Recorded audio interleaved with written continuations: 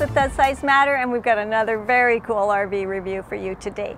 We are going to do the 2021 NuCamp Tag Boondock. This is a tiny trailer and I can't wait to show you all of the features that it has. But I mean, look at this.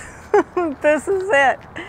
So remember everything that we're telling you, just mine and Kory's opinions from all the research that we do. And we'd love to hear from you owners about features or any details that we might miss because that's always cool. So put that in the comments. Make sure you check the description because that's where you can get in touch with RV reviews and get all the information you need for research on whatever you're doing.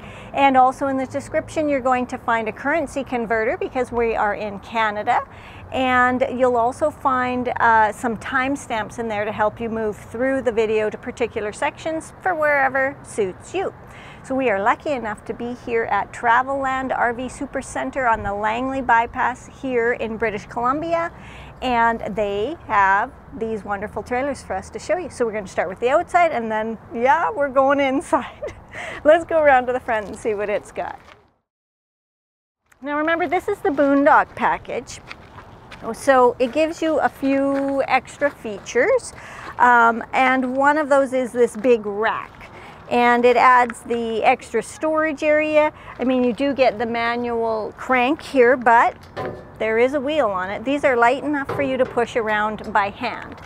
So you get the extra rack and then in here is where your propane tank is. So that's one 20 pound. And then this is where your batteries go as well. And then there's the uh, battery disconnect there as well. So when you move around, you do get these um, nice handles because you can move these around and I'll get you the weight ratings on them. You do, this is a two-door model, and I'll show you that, but aren't these cool round windows? And they are acrylic, so that's interesting as well. Um, you get, this is part of the Boondock package, so that's your step for climbing in. And you get this cool Boondock handle, which is just a little more aggressive. You get another acrylic window, which I like, some outdoor lighting. And then um, check out these aggressive tires, right? So the uh, Boondock package does do a bit of a axle pitch on the, on the torsion axle just to give it a little more clearance. And then you get these heavy duty um, mud claw. You can tell they're very mud claw tires. And let me read the numbers for you. So they are an Extreme MT uh, LT 23575 R15. Um, and the aluminum fenders there, it's pretty aggressive if you ask me. At least it looks cool. Over here, uh, you get a cable hookup because, you know, you want to watch cable when you're out boondocking. You get a 30 amp electrical hookup um, and in here is the uh, a spray nozzle so that you could have spraying water out here. This is where you're going to do your uh, freshwater hookup and I see there's another step here and underneath is the stabilizers. So you can put those down. And then coming around to the back here, it gets really cool. So first let's go way up to the top. You can see that there's some bars up there so that you can load some stuff up there. But remember, I got to check on the cargo carrying capacity.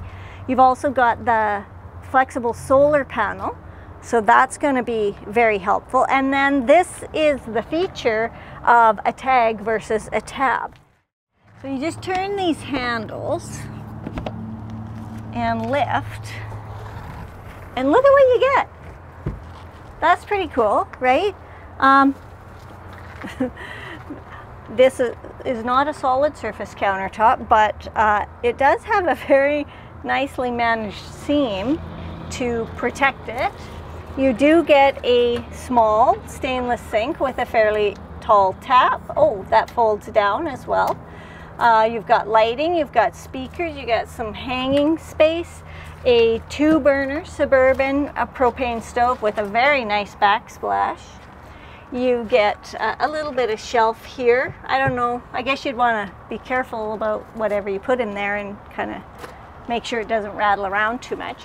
Uh, you do get a 12 volt USB and electric and more countertop space. You don't get a refrigerator, but you do get this um, cooler style thing. So this one is an actual Yeti, which opens up and I mean it's got a little rack in there and then it's a cooler. So is this an electric cooler? Like um, let me look around a little more. See. Uh, no, it's not. But you know what? There's that 12 volt mm -hmm. up there. So I'm going to say that you could probably put the Dometic electric one in there. The thing is, it's not going to stay running all the time, right? Depends on your batteries. Yeah, I guess that is the point. So this is just a basic cooler and NuCamp and Yeti have collaborated to include that with the trailer, but you could put other types of things in here, you know, like a 12 volt that would help to actually refrigerate your goods. So that's that, and it just slips right into this space. There, it's in. and then you get a microwave. So obviously that has to run on electricity and so you want to you do want to get those batteries in good shape you want to have good strong batteries that can collect that solar energy and hold it for you you would need an inverter too to run that that's right you would good point here is your storage with your water pump and your plumbing and part of your, or is that your full uh, freshwater tank there. We will look at the numbers and figure out how much you get. Let me see about closing this and then we'll go around to the other side. So I can't really reach it and it's really quite strong. I need to get further out that way. So a stool or something like that would be necessary, but let me see if I can do it from, because there is that step, right? Lay yourself on it. Oh my God. Got it. That's tough. Coming around this side. Uh, obviously we know the step works. another uh, window acrylic, another door. I mean, really, they're exactly the same on both sides. So they're kind of cool. I'm gonna now head inside. I'm gonna take my shoes off. So as you can see, the uh, door opening um, is very cool, but it's also quite small. Uh, but I'll come in here so I can, you know, show you around. It's an interesting it space. no, it's an interesting space and it's right for the right person. You know, I know that lots of people um, like to be more outdoors, have smaller, lighter weight spaces, yet they don't want to sleep on the ground. And this provides that perfectly. So here's that cool window that I love. Um, there's some storage there in the door too. And then over here is that acrylic window and it's got uh, a dark nighttime kind of thing and a privacy uh, daytime kind of thing. So back here and I will get you the dimensions of this bed. You do get a ceramic heater um, and there is venting here which I think is for AC but I'm not oh here this AC so there you go. You do get an AC because it's a little warm in here. Um, stereo USB uh, storage not a lot.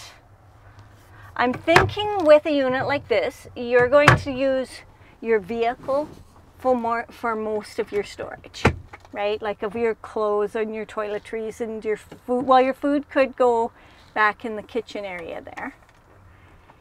And then um, I'll take you this way because there is a very small amount of storage in this little slider area and a small amount here with electrical and there's 12 volt as well and there's a little more up here and then you get this cool window.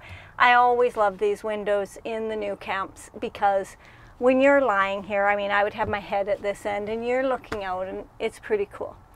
Uh, you also get a great fan to move some air around. You get uh, a reading light. So switching sides um, over here you've got this other great acrylic window. I'll just show you how that works. These little, um, there's a little red button there. You push it and then you turn that up and do the same with these and just push the window out and it just stays out. Then because of course you're worried about bugs, you've got this one and you've got that one. So that's how that works. Um, and then more storage over here, more electrical over here, uh, there's also switches, porch light, interior light, and that really sums it up. So let's take a look at the numbers next. The numbers on the 2021 TAG Boondock XL, there is a TAG and then a TAG XL. So this one is the XL and there's just very slight differences. Um, let me see here. The exterior length is at 163 inches. The exterior width is at 93 inches. And then the regular tag is at 81 inches. Uh, the exterior height is 76 inches. The interior height is about this much, which I'm not exactly sure. Um, but that's the space that it gives you. The sleeping area is, okay, about this much, just so you get an idea.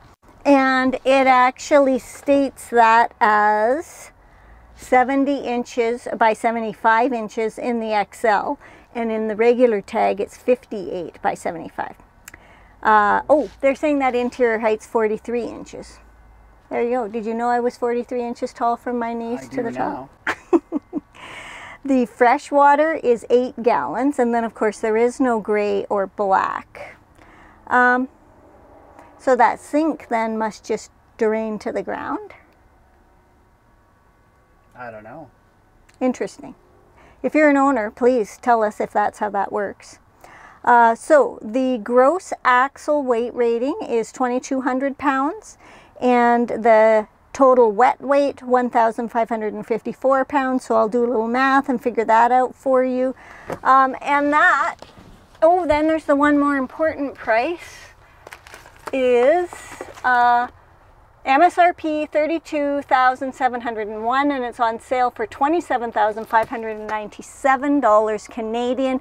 Don't forget to use the currency converter in the description if that's what you need to know hope you've liked this one. It's interesting, it's small. I know it's the right one for the right person because there's always a right RV out there for everyone. So if you like to give us a thumbs up, hit the subscribe, click one of these links at the end to get the nuts and bolts construction of the tag. And um, we'll throw in an adventure and something fun for you to watch too. So click on those. Thanks for watching.